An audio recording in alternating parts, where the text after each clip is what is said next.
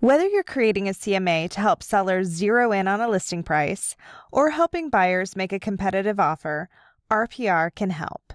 And with the RPR app, you can do it all on the go. First, search for the subject property in the app. Now scroll down to the Pricing Tools section of the property and tap Create CMA. Your first step is to confirm the home facts of the property. View the subject property's public and listing facts by tapping Public or Listing. Then tap Your Changes to input any missing or incorrect data. Once complete, press Confirm. Next, choose the comparable properties. Swipe up from the bottom for a list view of the properties or view on the map. The map can be helpful for navigating the exact area you want your comparable properties located in.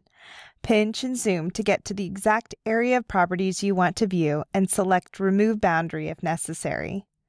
Tap the pin to get a quick view of the property or swipe up to view a list of the properties in the area you've chosen. Select filters at the top of your screen to show or hide properties based on their type, status, property characteristics, and even keywords. Press Sort to view the properties in order based on specific criteria such as proximity, price, or living area. Tap Add to select your comparable properties. Once you've added all your comps, tap Next. In step 4, you'll review your selected comparable properties. Swipe left or right on the comparable properties to view each. To remove a property from your list, tap Remove. Change the order of the comps with the drop down directly above the photo and adjust each comparable property based on how it compares to the subject property using the sliding scale. You can also add notes on each comp. Select Next to move to Report Delivery. Here you can confirm the price, price range, and get your report.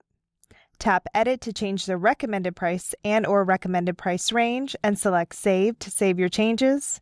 Revert to Original if you've saved changes that you want to undo, or cancel to go back to the previous screen.